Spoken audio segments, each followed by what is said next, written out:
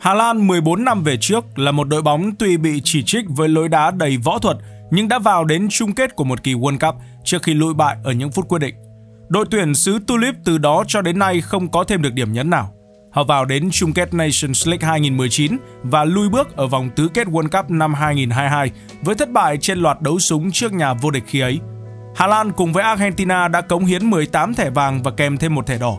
Chính là trận đấu có nhiều án phạt nhất mọi thời đại, còn vượt lên trên cả trận đại chiến Nuremberg 18 năm về trước. Hà Lan ở thế kỷ 20 từng là quê hương của bóng đá tổng lực. Hà Lan những năm 2010 thì hòa quyện giữa sự rắn giỏi của Nigel de Jong, Heitinga với khả năng tỏa sáng của Robben, Schneider và Van Persie. Còn Hà Lan của thời điểm này, họ cũng có những niềm hy vọng mới, nhưng để nối gót những người tiền bối sẽ cần một chặng đường dài nữa. Kỳ Euro 2024, Hà Lan chính là một trong những đội bóng đầu tiên sốt sắng thông báo về dàn nhân sự sẽ xuất quân với 30 cái tên được triệu tập. Dường như không quá khó để chọn lựa ra những gương mặt tốt nhất từ ban lãnh đạo khi mà so với những quốc gia khác, xứ Tulip làm gì có lực lượng nhiều như lá mùa thu đâu. Đội hình mạnh nhất của Hà Lan nên được xếp theo khối 4-3-3 với người gác đền sẽ được lựa chọn trong bốn gương mặt Justin Bichlow, Feyenoord, Mark Flecken, Brentford, Bart Verbruggen của Brighton and Hove Albion, Nick Oli của Sparta Rotterdam. Ở giai đoạn vòng loại, Bart Verbruggen dù chỉ 21 tuổi nhưng đang là cá nhân được đặt nhiều kỳ vọng nhất với 4 lần ra sân.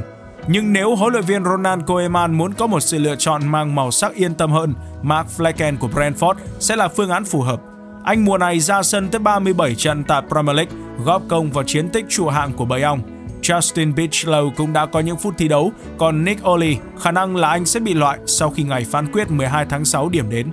Bộ tứ vệ của đội hình 4-3-3 sẽ được lựa chọn cẩn trọng dựa vào những gương mặt được công bố sau. Nathan Ake của Manchester City, Dale Blin của Girona, Virgil van Dijk của Liverpool, Denzel Dumfries của Inter Milan, Jeremy Frimpong của Bayer Leverkusen, Luciano Gaitrida của Feyenoord, Mathis de Ligt của Bayern Munich, Ian Madsen của Borussia Dortmund, Mickey van der Ven của Tottenham Hotspur, Stefan de Vrij của Inter Milan. Xét về mức độ danh tiếng cũng như màn thể hiện trong giai đoạn vòng loại, không hề khó để chúng ta tìm được ra ba cầu thủ xuất sắc nhất. Đó sẽ là Dumfries, De Ligt, Van Dijk và Nathan Ake. Thật khó mà có thể khác được. Dumfries đã ra sân tới 6 trận tại vòng loại. Anh là quân bài gần như bất khả xâm phạm bên hành lang cánh phải. Vấn đề nằm ở mức độ ổn định khi mà ở Inter thì Matteo Damian mới là người thường xuyên được đá chính hơn nhờ vào khả năng phòng ngự. De Ligt mùa này cũng không được tin tưởng nhiều tại Bayern Munich, dù tập thể nước Đức có De Ligt, Kim Min Jae nhưng vẫn phải mượn về Eric Dier từ Tottenham Hotspur thì cũng đủ hiểu là cả hai con người này có vấn đề như thế nào. Mathis de Ligt cũng đã từng là báo thủ của Hà Lan trong chiến dịch 3 năm về trước. Liệu lần này anh có thể chuộc tội được không thì sẽ là câu chuyện phải chờ đợi. Van Dijk và Ake thì hiển nhiên là linh hồn ở hàng phòng ngự tại Hà Lan rồi. Bởi vì đội trưởng Van Dijk chắc chắn sẽ ra sân, Ake sẽ được cố định là một hậu vệ cánh. Anh cũng có thể đá trung vệ lệch nếu Koeman có nhu cầu đá đội hình ba hậu vệ. Ngoài những lựa chọn đã khá rõ ràng, sự cạnh tranh ở khu vực tuyến dưới trên tuyển Hà Lan cũng đang là rất lớn. Người thay thế Dumfries có thể là Jeremy Frimpong cùng với dạng sơ đồ giống như ở Bayer Leverkusen 3-4-2-1 mà Koeman cũng từng thử nghiệm. Khu vực trung lộ, De Ligt cũng chưa chắc có suất đá chính khi có Stefan de Vrij và Mickey van der Ven đang chờ đợi thời cơ. Mà cũng chớ quên là lão tướng Dali Blin nữa, một cầu thủ đá trung vệ và hậu vệ khá tín nhiệm. Chuyển sang hàng tiền vệ sẽ được lựa chọn từ những con người sau Ryan Gravenberch của Liverpool, Frankie de Jong của FC Barcelona, Tim Koopmeiners của Atalanta, Tijani Reinders của AC Milan, Martin de Roon của Atalanta, Jordi Schutten của PSV Eindhoven, Quinsen Timber của Feyenoord, Joe Vieman của PSV Eindhoven, Jorginho Wijnaldum của Al Ettifaq. Dường như ai cũng sẽ nghĩ đến cầu thủ hưởng lương cao nhất La Liga đầu tiên, Frankie de Jong, với hơn 700.000 euro mỗi tuần vào đội hình chính. Nhưng trên thực tế thì anh đang gặp chấn thương từ cuối tháng 4 cho đến nay và màn trình diễn trước đó thì cũng không gây được ấn tượng mạnh. Do đó, ba cái tên có khả năng ra sân ngay từ đầu sẽ là Tijani Render, Joey Vieman và có thể sẽ là Martin de Roon.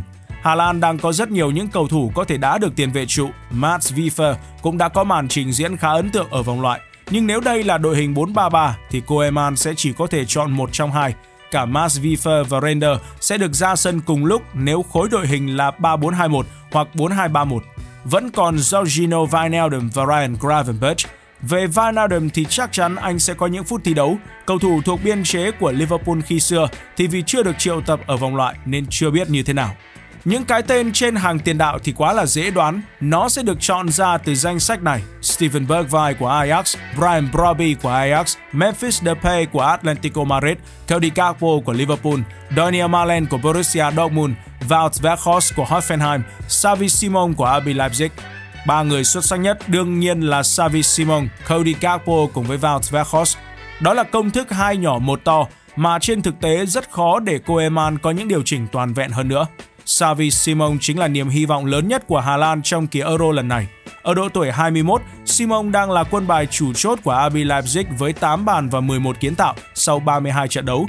Anh cũng có thể chơi ở cả tiền vệ trung tâm, tiền vệ tấn công và chạy cánh trái, nên việc sắp xếp trong khối đội hình nào cũng chẳng thành vấn đề.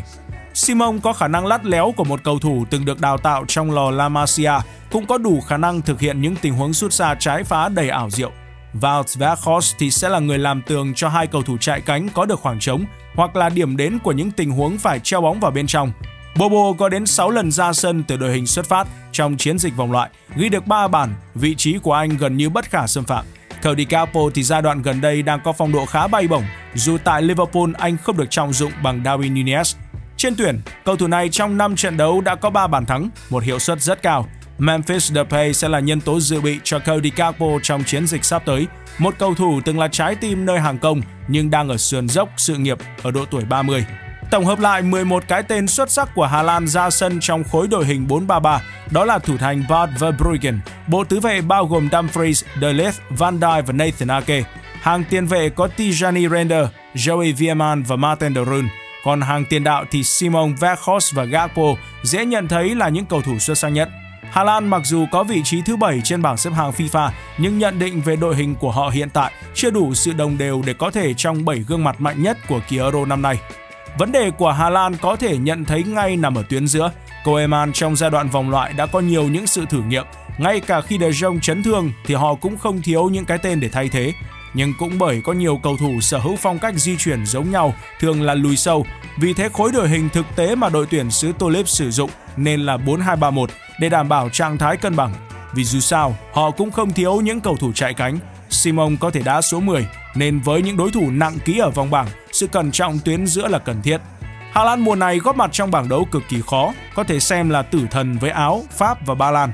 Trong khi Ba Lan bị đánh giá yếu nhất, thì việc vượt qua Áo với thầy trò Koeman cũng chẳng hề đơn giản. Đây là đội bóng đang được huấn luyện viên Ralf Rangnick trùng tu và đang có phong độ rất cao kể từ vòng loại. Việc nhận về quá nhiều những áp lực, khả năng keo kiềm pressing của đối thủ có thể khiến đội tuyển xứ Tulip mắc sai lầm. Còn Pháp thì khỏi nói, nếu không có gì bất ngờ thì Hà Lan có lẽ tiếp tục phơi áo trước đội bóng này. Họ đã thua cả hai lượt trận vòng loại và bị đẩy vào thế chân tường, đến mức Virgil van Dijk phải là người cứu vãn tấm vé đi tiếp ngặt nghèo đó. Đây hứa hẹn vẫn sẽ là một mùa giải Euro khó khăn cho Hà Lan. Những tín hiệu ở trên hàng công đã dần trở lại với làn gió mới mang tên Xavi Simon. Còn ở hàng phòng ngự, tầm ảnh hưởng của Virgil van Dijk vẫn là khó có ai sánh bằng.